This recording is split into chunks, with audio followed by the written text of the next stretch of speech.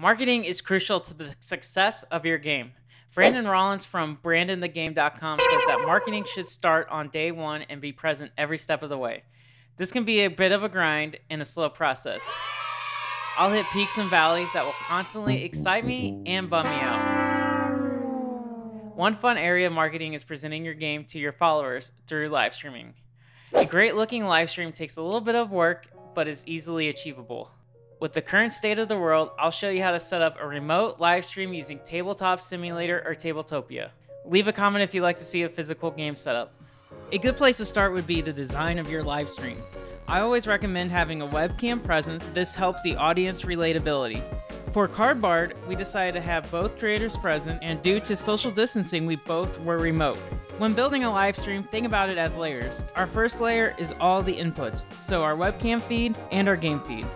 I recommend using Skype to host the other person, as it utilizes the NDI plugin in OBS. To install the plugin, I link to some great videos down below. Your second layer will be an overlay to clean up the video feeds. Lastly, on top of all that, add your lower thirds or rotating information. We set this up as hotkeys to quickly hide and turn on layers.